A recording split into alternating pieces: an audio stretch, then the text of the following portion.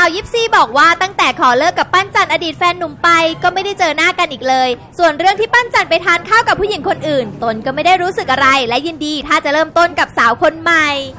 เพิ่งเลิกแต่ก็มีข่าวว่าเขาก็มีใหม่แล้ว ก็มีใหม่ไม่มีใหม่ อันนี้ไม่รู้ก็ก็ไม่เป็นไรนะ ถ้ามีเพราะว่าเลิกกันแล้วไม่เป็นไรค่ะ คือมันไม่ได้หมายความว่าเลิกกับเราไปเราห้ามเริ่มนี่ มันก็ชีวิตใครชีวิตมัน แสดงว่าหนูก็ไม่คิดจะกลับไปรีเทิร์นอะไรอย่างนี้อยู่แล้ว อ๋อ มันไม่เกี่ยวหรอกค่ะ คือ return ไม่ return มันก็ขึ้นอยู่กับเอ่อโอกาสแล้วก็ความรู้สึกด้วย แต่ว่าสำหรับตอนนี้เนี่ยก็